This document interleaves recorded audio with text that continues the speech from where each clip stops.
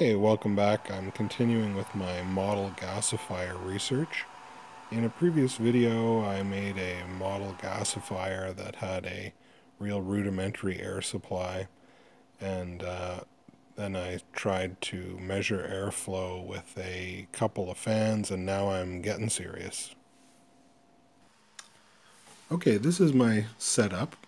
So um, some obvious pieces here. First of all there's a brushless DC blower. This is just a 12 volt blower and uh, attached to it is a 3D printed part that I made. And what this part is inside, where we can't see, is uh, there's a constriction. There's a, a venturi formation in here, a shape like a venturi. And what that means is when air is flowing through here, there's a lower pressure at this point in the tube than there is at this point in the tube. So we can calculate quite accurately the flow through the tube if we know the diameter of the tube at the narrowest point, the diameter of the tube at the widest point, and the pressure differential between them. The pressure differential we're sensing with this uh, MPX 5010. Uh, it's a pressure sensor, it's a differential pressure sensor, so it, it has two ports.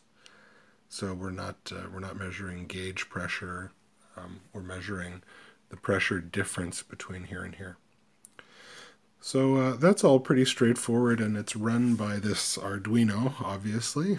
And um, there's not a heck of a lot more than that.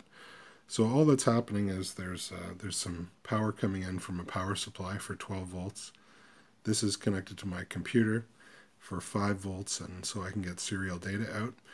Uh, the Arduino does everything. There's a um, ULN uh, 2003 a bunch of Darlington transistors just to amplify the signal from the uh, from the from the Arduino and make it big enough to drive the fans. There's two of these MPX 5010s. Uh, this uh, there's a there's another channel over here. What I'm going to do is I'm just going to pull its power so we don't have to listen to that right now.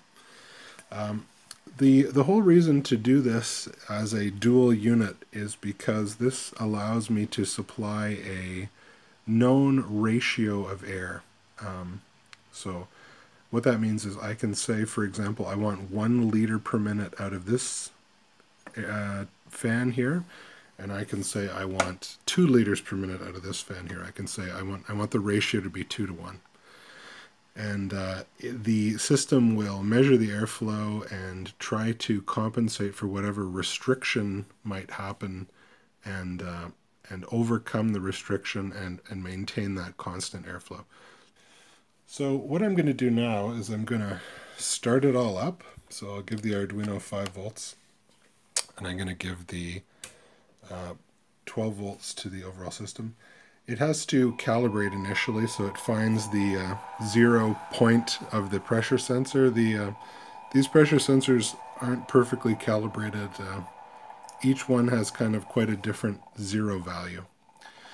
So this, uh, this is the set point knob. It allows me to determine what fixed pressure ratio I want in my primary fan.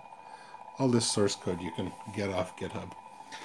So right now I've asked it to maintain a very low speed, very low airflow. And uh, it has used a closed loop sort of control system with a, a software version of a PID. Point. First of all, I can change the set point. I can I can turn it up for lots more air. I can turn it way up. Um, so I'm gonna I'm gonna start with it quite low, just to sort of show you what's going on here.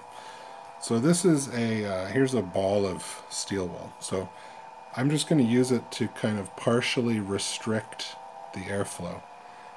And you can, you'll only be able to hear this, but you can hear the, uh, the fan speeds up to compensate. So if I restrict it more, the fan speeds up to compensate.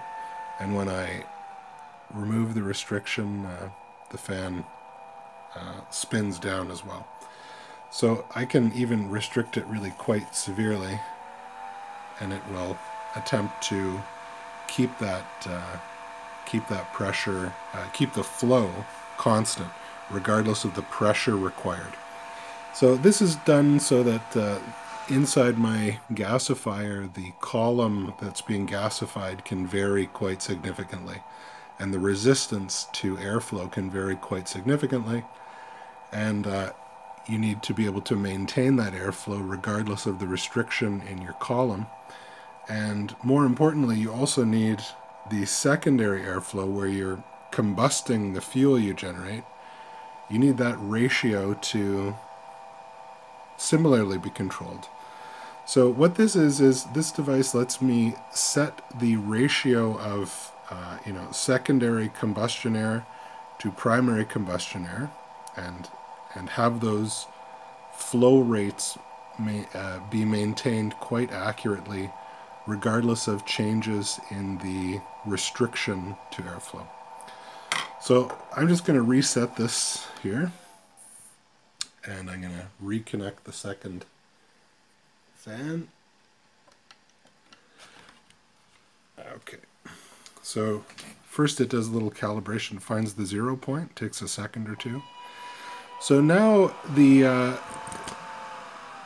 now the device is trying to maintain the two airflows. So I've asked it to uh, maintain about uh, one and a half times the airflow in the secondary as, as in the primary. And both of them know how to compensate for restriction. And uh, they can do that independently of each other. So I'm really hoping this will be a uh, air supply for a gasifier that's uh, quite reliable and allows fuel flexibility and also uh, very low emissions. So key in the gasifier is to burn very cleanly with a very accurately controlled measure of fuel to air. And that's what this is all about. You can find the code in the description.